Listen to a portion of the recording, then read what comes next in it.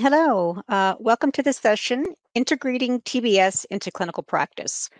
I'm Shelley Horn, uh, and I'll be uh, introducing uh, this session. Professor Didier Hans will be joining us to moderate the Q&A session at the end. We'll be accepting questions throughout the presentation to be answered live at the conclusion of the presentation as time permits. You may type your questions into the Q&A on the right-hand side of your screen. We do ask that you keep these questions specific to this presentation. I'd like now to introduce our speakers for this presentation. We have two world-renowned experts in osteoporosis joining us today, and we're delighted to introduce you to both Dr. Mike Lewiecki and Dr. Andrea Singer.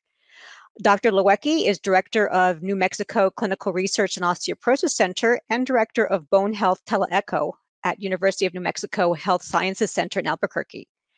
He's a consultant in osteoporosis and metabolic bone disease, supervisor and interpreter of bone density studies, and an educator with a special interest in the evaluation and treatment of osteoporosis and metabolic bone diseases. He has been principal investigators for many osteoporosis clinical trials and is author of over 300 publications in peer-reviewed um, medical journals, as well as books, book chapters, and online publications on osteoporosis. Dr. Dr. Lewiecki is past president of the ICD and current president of the Osteoporosis Foundation of New Mexico.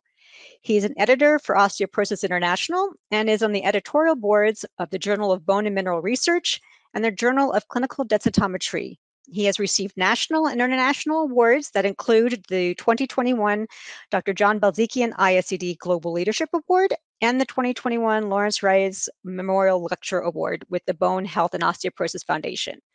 Dr. Lewiecki is also the program director of the annual Santa Fe Bone Symposium. Uh, Dr. Singer is director of women's primary care, director of the Bone Densitometry Program, and medical director of the Fracture Liaison Service focusing on secondary fracture prevention at MedStar Georgetown University Hospital in Washington, D.C. She holds a dual appointment at the Departments of Medicine and Obstetrics and Gynecology at Georgetown University Medical Center in Washington, D.C. Dr. Singer is Chief Medical Officer at the Bone Health and Osteoporosis Foundation, which is formerly the National Osteoporosis Foundation, and has been a member of the Board of Trustees. She co chairs the annual interdisciplinary symposium on osteoporosis for the BHOF. Dr. Singer has been the principal investigator for several clinical trials and quality improvement projects in osteoporosis and bone health. She has authored numerous publications in peer reviewed journals, including the Mayo Clinic Proceedings, Osteoporosis International, Journal of Bone and Mineral Research, Current Medical Research Opinion, and Journal of Bone and Joint Surgery, among others, as well as book chapters and online publications.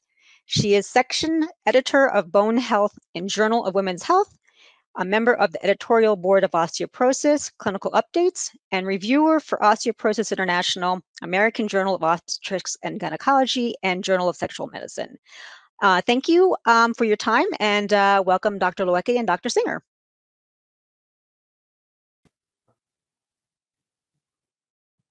It's a pleasure to be here today with my friend and esteemed colleague, Dr. Michael Lewiecki, to talk about integrating TBS into clinical practice.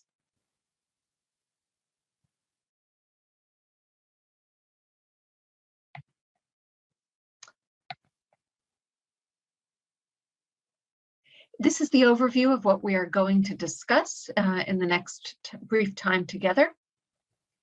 And I'll start by talking about clinical benefits. Um, to level set, I'd like to just refresh a definition of osteoporosis because this becomes important in terms of our discussion today. As you well know, this is a systemic skeletal disease characterized by low bone mass and microarchitectural deterioration of bone tissue, which ultimately leads to fracture. They say a picture is worth a thousand words, and I think looking at the difference between normal bone and osteoporotic bone shows us it's not just the amount of bone that changes, but it's really a deterioration in terms of the trabecular connections and increase in porosity. We'll talk about this more as we go through. Um, but the importance of this is in part that historically we've not had a non-invasive tool to help us measure or assess bone microarchitecture. We know that bone mineral density is a very important factor, and that as you can see from this data from the NORA trial, looking at the blue bar graphs, which look at uh, the fractures, fracture increases as bone mineral density decreases as we go to the right of, on the x-axis. What's important to keep in mind, though, is that if we look at the greatest number of women who have fractures, they fall into the low bone mass or osteopenic range. Indeed, they don't occur in those who have T-scores better than minus 2.5. So bone mineral density is a very important piece of the equation, but it is not the only thing for us to consider. This leads us to think about the concept of reaching beyond bone mineral density. I think what's really important is that we think about bone strength. And bone strength is made up of a combination of the amount of bone that's there or bone quantity, which can be measured by a number of different technologies, which are listed here on the slide. But it is also made up of underlying bone quality, which incorporates turnover, bone mineralization, the geometry of bone, and importantly gets us back to this concept of bone microarchitecture.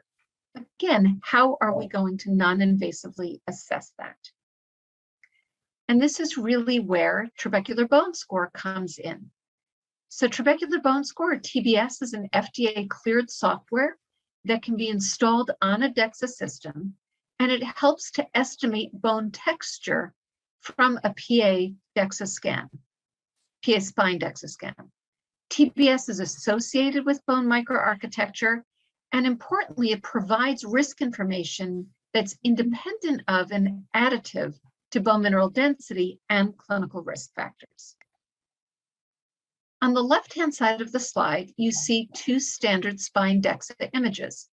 Now, both of these patients have the same bone mineral density and identical T-scores. But look what happens when we apply TBS. You can see that they have different microarchitecture. Uh, the patient on top has a good microarchitecture and a TBS score that is in the normal range. The patient on the bottom of the slide has poor microarchitecture, increased porosity, a decreased trabecular connections, and a degraded TBS score. So this is a way to differentiate patients who look the same by bone mineral density, um, but again, have different underlying bone quality, perhaps. TBS has been validated uh, in many different studies. There are more than 850 publications, number of peer-reviewed publications, and it's now mentioned in more than 20 different guidelines across the world. As I already mentioned, TBS is a predictor of fracture risk that's independent of bone mineral density and clinical risk factors. And the idea is that it enhances fracture risk assessment and may indeed aid in treatment decisions Mike will talk a little bit more about this and we'll discuss this when we look at some clinical cases, but may be particularly useful in situations in which there is clinical uncertainty. That patient with low bone mass where we're trying to decide what to do, situations in certain clinical diseases where fracture risk is disproportionate to bone mineral density, specifically type 2 diabetes, patient who's been treated with glucocorticoids, primary hyperparathyroidism, and as we'll talk about later, the patient who has normal bone density by DEXA, uh, but sustains a fracture. Osteoarthritis, which we know can complicate our interpretation of bone mineral density, and when fracture risk as assessed by FRAX is close to intervention thresholds. Mike will also talk in a few moments about how changes in TBS may be useful in terms of monitoring. This is a slide that you are used to seeing in terms of looking at associations between fracture risk and bone mineral density. But if we now in, add in TBS, you can see that this again enhances assessment of risk. So look at the bar uh, that is in the deepest red color. These are patients who have osteoporosis by T-score and are in the lowest tertile or the degraded range for TBS. Those patients clearly have the highest rates of incident fracture. So again, combining this, these different pieces of information may give us a better way to assess fracture risk.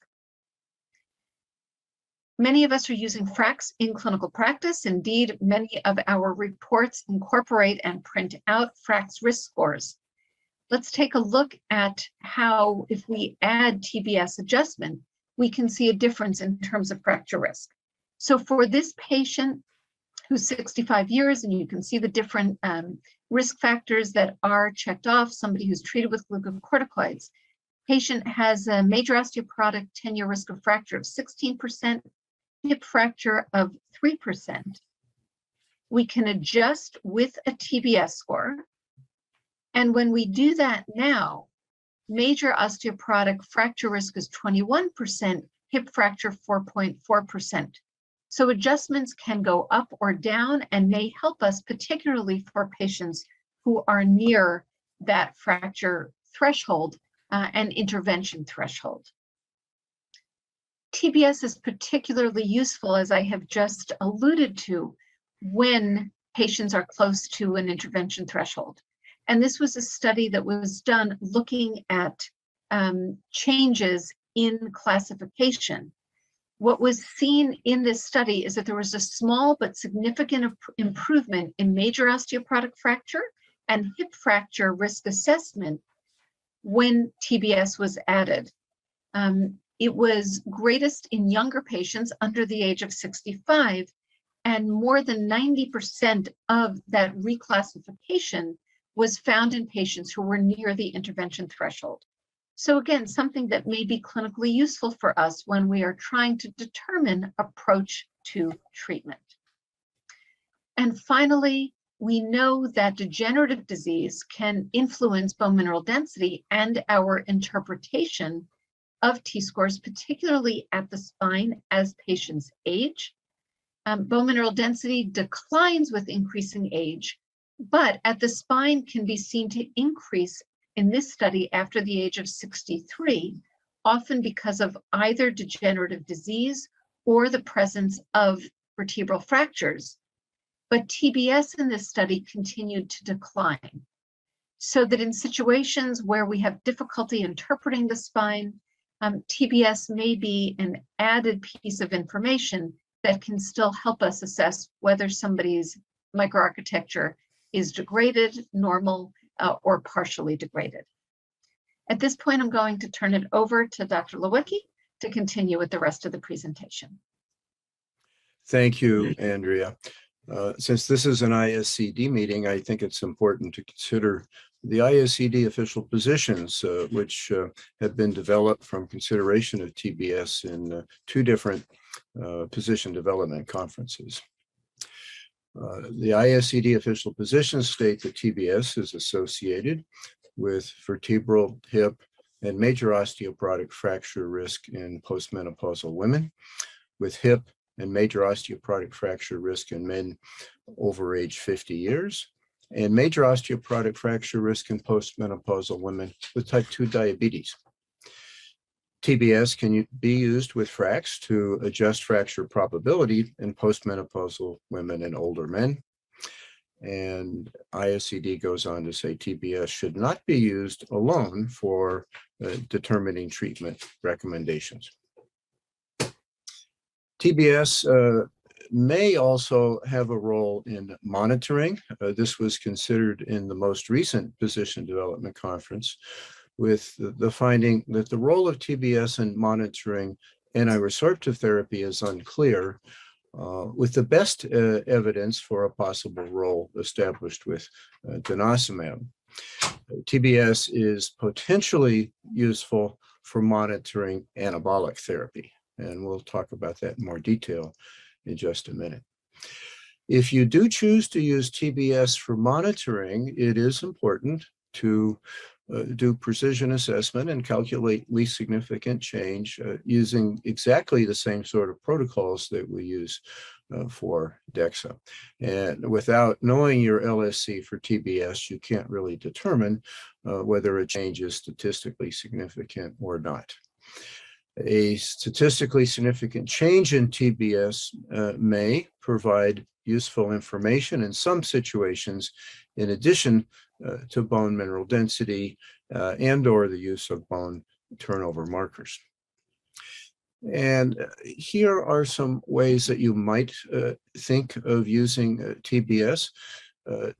If you look at situations where there's been a significant decrease in TBS and a patient is not on treatment, then this is consistent with increasing fracture risk and probably cause for clinical concern.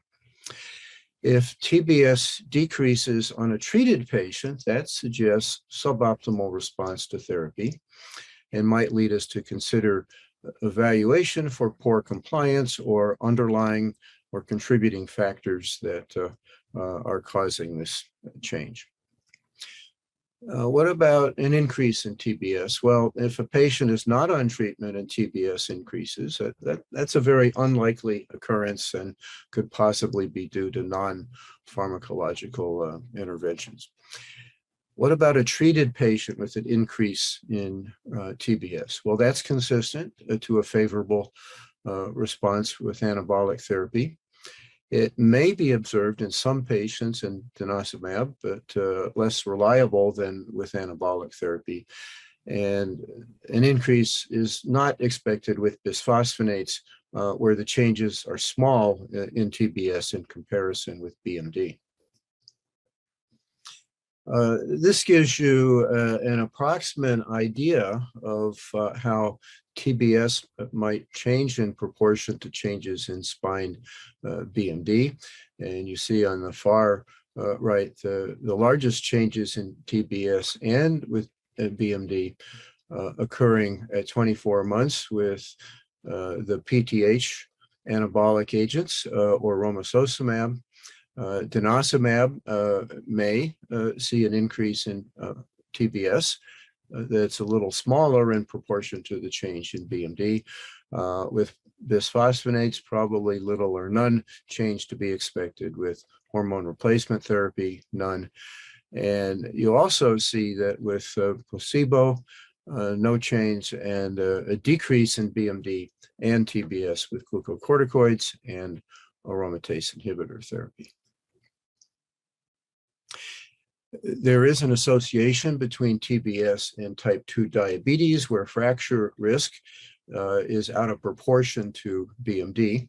And uh, it has been found that patients with prediabetes and type 2 diabetes have lower TBS than non uh, diabetic matched individuals. And TBS appears as well to be related to diabetes control. TBS may be useful as a measurement for assessment of fracture risk in type 2 diabetics and incorporating TBS into the FRAX uh, calculation may improve our estimation of fracture risk in these patients.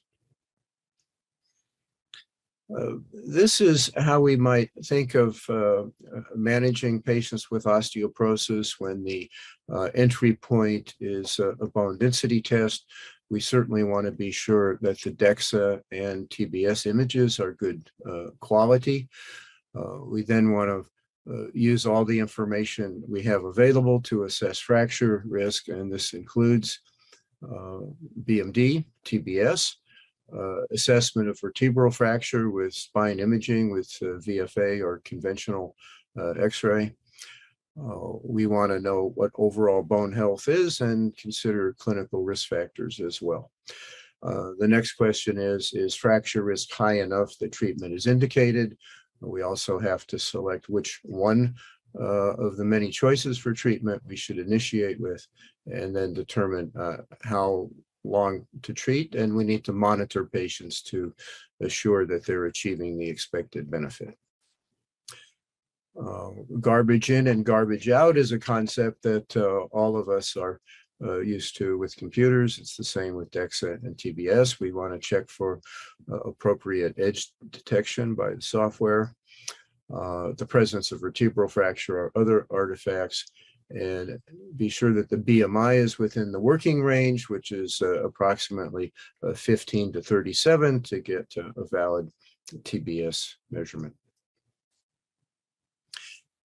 Uh, TBS uh, characterizes uh, bone structure and uh, the TBS values, which have no units, have been divided uh, into categories of normal, partially degraded, or degraded according to the cutoffs that you see here, uh, where the degraded classification, the, the lowest classification with the worst bone microarchitecture is TBS that's 1.230 or uh, below. Uh, it's illustrated in the graph above, and I, I find uh, that graph useful when I'm explaining the results uh, to patients, and they uh, do not want to be down in the red area if that can be helped. Uh, one way to communicate this is to use analogies as well. Some people have used the analogy of bone structure and scaffolding on a building. I often uh, tell patients that two different bridges could be built out of exactly the same materials, but if one is poorly constructed, uh, that bridge is more likely to fall down first when an earthquake uh, comes along. And that gives them a, another thing to think about when we're talking about bone microarchitecture. I think all of us have encountered uh, individuals who have had uh, osteoporotic fractures, but bone density is surprisingly normal. Uh, this was studied with the Manitoba DEXA database in over 7,000 women with fractures who had DEXA, BMD, and TBS. And it was found that about 10% of women with a fracture had normal uh, BMD at the hip and spine.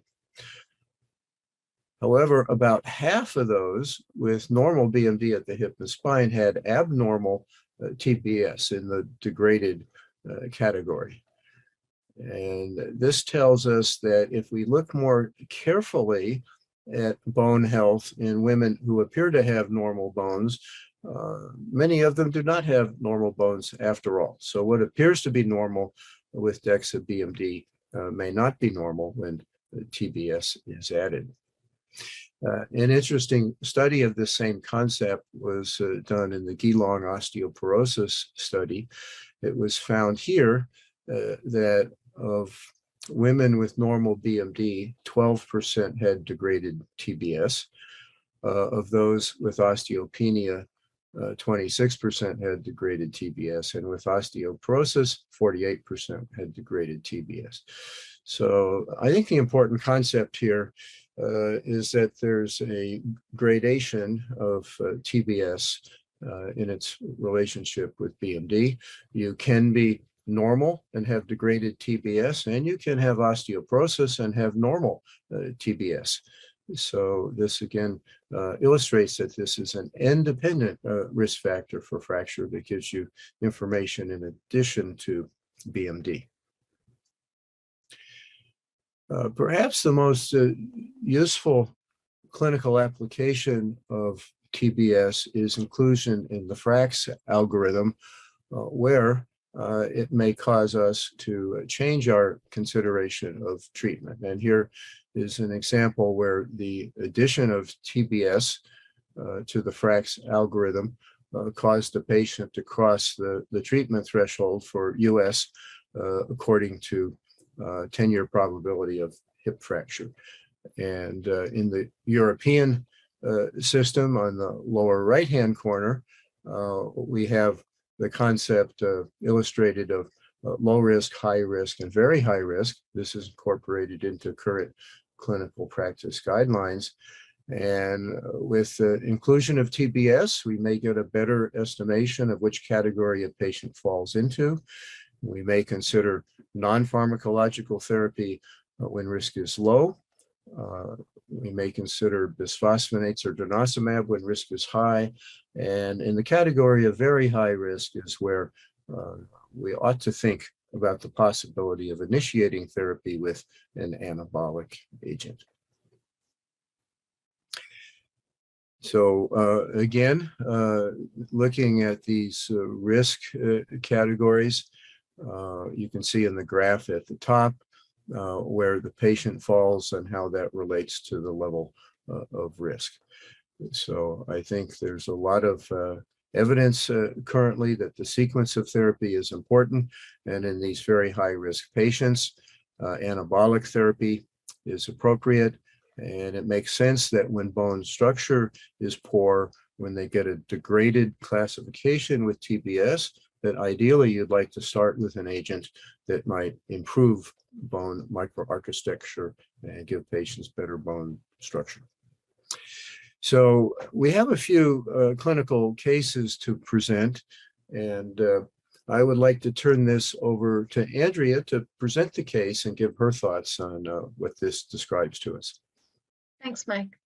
Um, so as you can see, this is a 65-year-old woman who has a significant family history of osteoporosis and fracture. Uh, indeed, her mother had a history of four vertebral fractures beginning in her late 60s. The patient herself is generally healthy, really has no other clinical risk factors on overall risk assessment. But she has a bone density because she is age 65, but with this family history, wants to know what her risk is, does not want to end up like her mother, in her words. And you can see that her lowest T-score is a minus 1.8, so she falls into the low bone mass range.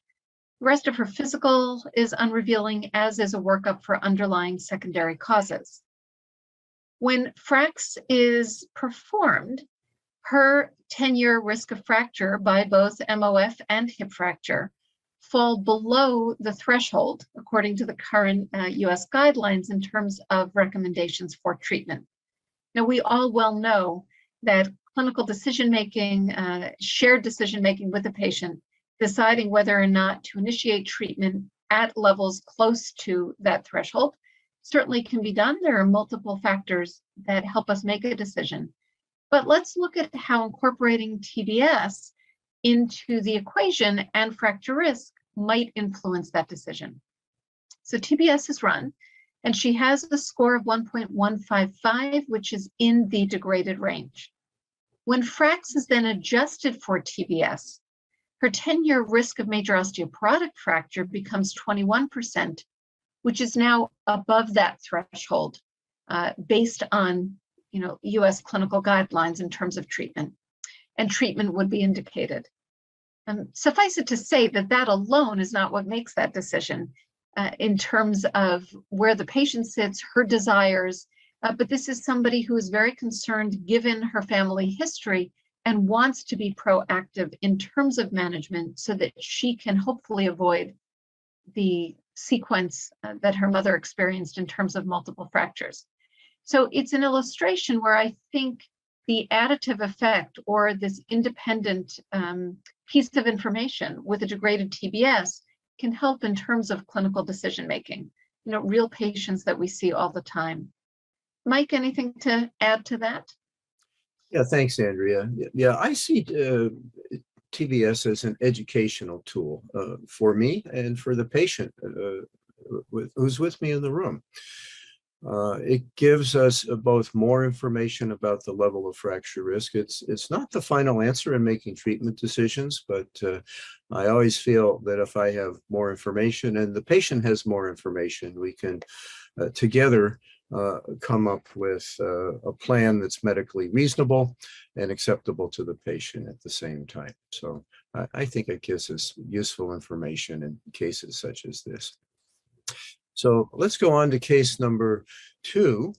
Uh, this is the uh, flip side of this. This is a 56 year old uh, woman uh, with an osteoporotic T-score at the femoral neck, uh, no other clinical risk factors. VFA is normal, TBS is normal, and FRAX is low. So here a patient has osteoporosis according to T-score, uh, and yet uh, fracture risk is low.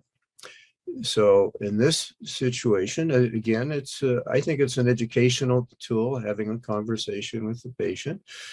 Uh, I explained to the patient that uh, even though you have a diagnosis of osteoporosis, I'm not terribly worried about your bones crumbling in the near future. And if you choose non-pharmacological therapy, that might be okay. And some people will jump at that opportunity to avoid taking drugs. And other patients who are equally reasonable say, I already have osteoporosis. I don't want to wait for it to get worse. Uh, I'd rather get started on treatment now.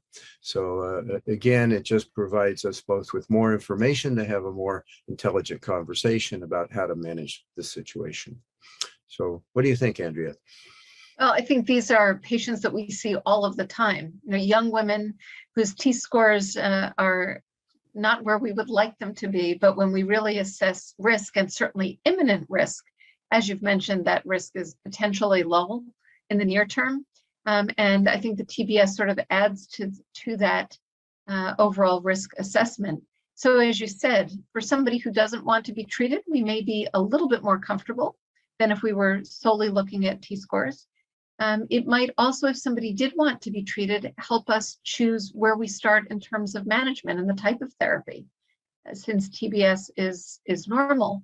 Um, and certainly, you know, I think our approach for that younger woman has, in some respects, maybe even come full circle in terms of thinking about using estrogen in those who can take it, or raloxifene uh, in somebody who is primarily low spine bone mineral density as you mentioned, it's an added piece of information. It helps in terms of counseling and giving someone an overall picture of their current status. So I agree with your thoughts. Sustained a T12 vertebral fracture with you know, minimal movement, lifting a window blind. She appropriately gets a bone mineral density study uh, by DEXA, and her scores at both the spine and the total hip are normal you can see she had a prior DEXA, presumably around the time of menopause. Um, there has been a significant decline in terms of bone mineral density at both the spine and the total hip, but her scores remain within the normal range. And this can often be a conundrum. We've talked about the patient who has normal bone density but has had a classic osteoporotic fracture, which by almost all of our guidelines would give a clinical diagnosis of osteoporosis. But patients sometimes have a difficult time getting their head around the fact that bone density is normal, and yet we tell them they have osteoporosis and may indeed recommend treatment. Here, TBS is degraded. And again, as Mike mentioned, just looking at the images and where that dot falls into the red category may be an aha moment or an additional piece of information uh, that helps us in terms of education thinking back to that NORA graph we looked at earlier, we know that there's no bone density that renders someone safe from having an osteoporotic fracture, and about 10% of patients with fractures do indeed have normal bone mineral density. So I think where we all feel inclined to want to treat when somebody has a spine or hip fracture, certainly, knowing that TBS is degraded uh, may push us more in that direction and help us educate the patient in terms of why treatment may be needed. Mike, other thoughts? Yeah, thanks, Andrea. Uh, well, these sorts of cases are head scratchers, and uh, I I never know what to do. Uh, but this certainly gives us more information. It's uh, uh, we want to do something to prevent more vertebral fractures, but of course, there's no clinical trial evidence that says we can reduce uh, fractures uh, by pharmacological therapy in patients with normal bone density, but certainly uh, a consideration. So uh, let's go on to some other information uh, about uh, TBS, and I'm going to turn it over to Shelley Horn, who's going to tell us about the new report forms and reimbursement issues regarding TBS in the U.S. Great. Uh, thank you, Dr. Lewiecki um, and Dr. Singer. Some really, really good information uh, there um, and, and clinical cases as well. Um, just, just quickly, uh, a couple of uh, important information. The, the new report uh, that we have come out with for, for TBS um, provides some additional benefits. Um, in addition to providing, obviously, the trabecular bone score uh, value, uh, it actually it takes the information from the BMD and TBS and combines them in sort of a skeletal assessment, um, looking at it from the standpoint of bone resilience um, to kind of help provide a better understanding of how to combine the BMD value T score along with TBS. Um, it also provides the information about the uh, FRAX adjusted with TBS, but also the new feature, which is the BMD-T score adjusted with TBS. Um, so kind of provides two different uh, ways of uh, looking at uh, therapeutic decision tools um, with TBS uh, used as an additive factor, uh, as you guys have been discussing. and, and finally, the second page provides some um, conclusions, some automatic conclusions to help with the interpretation of TBS um, and the different parameters uh, together. It's something that can be edited, um, but at least it helps, you know, from a reporting standpoint, some additional information. Um, and for those um, uh, regions um, and countries that uh, have specific guidelines with regards to the uh, FRAX curve, um, in looking at the, uh, the population, we've actually added an editable FRAX curve, so you can put into your your um, report the the regional data uh, for your population and see where your patients um, end up on that that curve. With regards to uh, reimbursement, um, just I think that uh, it's not new news, but it's important uh, to be able to share with you guys it, uh, that um, hopefully this is something that will make uh, TBS more accessible um, to the patient populations and the physicians who are treating um, osteoporotic patients um, or determining whether or not they need to be treated. Uh, CMS has released uh, reimbursement uh, for TBS. There are actually four independent uh, CPT codes for TBS that are actually independent of uh, the DEXA codes.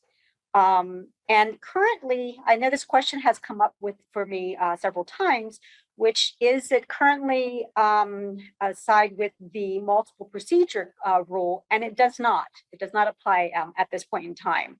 Um, but as we know with CMS, it'll kind of be a wait and see uh, to see kind of how things go over the next year. Um, with regard specifically uh, to the codes, um, on the next slide, um, it sort of describes specifically what those codes are. Um, I have the top one, 77089, highlighted because that's the one that will be used in 99% of uh, clinical practice. Um, that's the one that includes the uh, actual technical components of the analysis, the scanning, um, the data interpretation, um, and the report and um, clinician interpretation. So the uh, 77089 currently based on CMS's RVU schedule um, would be equate to uh, on average the 4153. The other components were designed more so uh, if you have uh, interpretation being done in a different facility, but the scanning is being done somewhere else. But that's a very rare circumstances. So the most important one is to understand the 77089 code. Um, additionally, uh, as with uh, ADEXA, there's also the um, outpatient, the, the OPS um, physician's uh, fee schedule and that really is for the hospital based. Um, and that looks at more of the technical component, which is the 77090 and the 77091, um, which uh, similar to DEXA has a slightly higher reimbursement amount, about, you know, on average 82.61. Um, so, it, you know, so uh, I'm going to turn it back over to Dr. Lewiecki for a summary, um, and then we'll have an opportunity for some uh, questions and answers. Thank you, Shelley. I just want to quickly review the, the benefits of TBS, and that is that uh, there are robust uh, data supporting adjustment of FRAX. It can be a tiebreaker in borderline clinical decision making. Uh, assessment of bone health in patients who fracture with normal BMD or, or who have soft bones with orthopedic surgery. It's a patient education school. Uh, it may be useful in monitoring some patients. It's FDA cleared and it's reimbursed by Medicare. Limitations include the fact that the software must be purchased. Uh, we can't use it to diagnose osteoporosis. It's one of many uh, decision points to consider. And precision assessment must be done in order to calculate uh, LSC, and it's not reimbursed uh, by all insurance. So thank you for your uh, attention, and uh, I look forward to the question and answer session. And thank you, uh, Andrea and Shelley, for participating in this.